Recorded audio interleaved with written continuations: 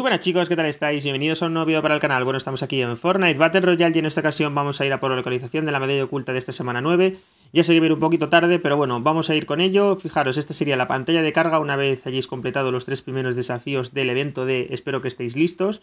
¿Vale? Así que una vez que hayamos completado los tres primeros desafíos, o tres de los desafíos simplemente, ¿vale? Del evento este en concreto, nos darán la pantalla de carga. Entonces, bueno, esta sería la pantalla de carga y justo se puede ver en la parte superior ¿vale? Al lado de la flecha amarilla, en el lado derecho, una cara del tomate, ¿vale? Entonces lo que tendremos que hacer es dirigirnos al templo tomate, ¿vale? Donde lo teníamos situado antiguamente, ¿vale? Y tirarnos directamente encima de la cabeza. Y justo allí es donde vamos a tener localizada la medalla oculta. Así que bueno, lo que vamos a hacer es pasar directamente al mapa para que veamos cuál es exactamente su localización. Vale, fijaros, estamos yendo justo aquí al lado de la planta de presión. Aquí es donde tendríamos situada la cabeza del tomate, Así que no va a tener mucha pérdida y sobre todo es muy importante chicos, tenéis que tiraros directamente encima, ¿vale? No lo hagáis desde abajo porque si no os va a costar la leche eh, subir, ¿vale? Y sobre todo si viene gente, pues bueno, se acabarán matando, ¿vale? Pero en este caso lo mejor será que os tiréis directamente arriba y así podréis coger más rápido la medalla oculta.